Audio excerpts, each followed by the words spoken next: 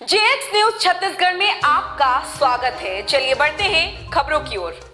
जिला निर्वाचन ने हटाया भाजपा का चुनाव कार्यालय। बिना अनुमति के ऑफ़िस खोले जाने पर उड़नदस्ता टीम ने की कार्यवाही। छत्तीसगढ़ में विधानसभा चुनाव की तारीख का ऐलान होते ही हो गया है। इसको लेकर निर्वाचन में जुटे अधिकारी, कर्मचारी, ज़िले में लगे बैनर, पोस्टर को निकालने और वॉल पेंटिंग को मिटाने में जुटे हुए हैं। बिस्तर में भागवती सुर कांग्रेस में एक सीट पर टिकट के लिए कईयों ने ठोकी तार। निर्दलीय चुनाव लड़ने की भी सियासी चाल। कभी भी आ सकता है राजनीति में भूचाल। इस बीच कांचकर जिला निर्वाचन विभाग ने सख्त रुख अपनाते हुए बिना अनुमति के खोले गए भाजपा के चुनाव कार्यालय को हटा दिया है। बताया जा रहा है कि जनकपुर वार्ड के मतदान केंद्र से लगभग 70 मीटर की दूरी पर बिना अनुमति के भाजपा कार्यालय खोल दिया गया था।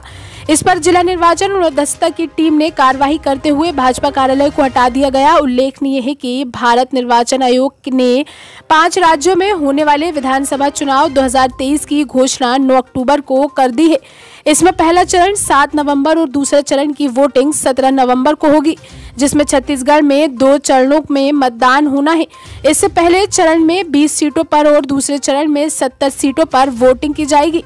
पाँचों राज्यों के चुनाव नतीजे एक साथ तीन दिसंबर को घोषित किए जाएँगे।